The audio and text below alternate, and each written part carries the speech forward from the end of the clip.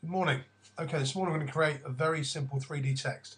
Has excellent effect if you use it right, and it's a lot simpler than you would think. We're going to start off by creating a, uh, basically just a word, and we'll put in 3D for the sake of argument. Now, with this kind of thing, you can use any font, but it's always good to use a nice, strong, bold font. So we're going to use my old favourite, Impact. Make it a nice large size so you can obviously see it and there you have the word 3D. Now you can be surprised at how simple this project really is. We'll change the colour and give it a go for a corporate blue, shall we? And basically, I double clicked by the way there onto the um, the layer where I'd written 3D. On here, just click level, uh, bevel and emboss. Got quite a simple bevel there, but we'd like to uh, let's make it a little bit bigger and soften it a bit.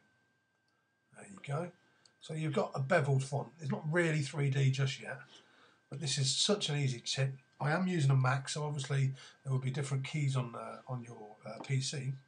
But literally, while that's selected, the 3D text, hold down Alt, and with your cursors, press up, left, up, left, up, left.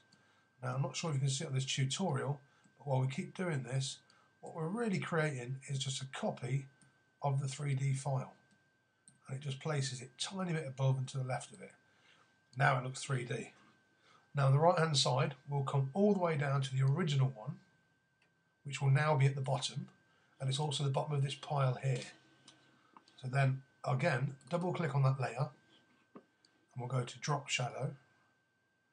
And the drop shadow there, you see, it's just caused it on a global. We've got on global light there, and we're going to spread it out a little bit more, give it a bit more oomph to it and send it in that direction to the left because that's the kind of light image we've got there. It looks like the light's coming from the left hand side.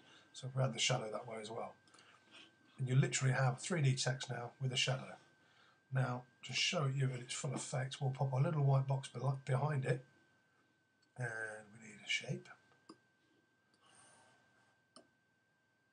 And it's actually very, very green, that white shape. So we'll uh, lose the colour overlay for a second.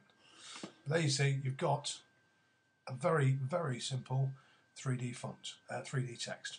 I hope this helps. Thank you. Bye bye.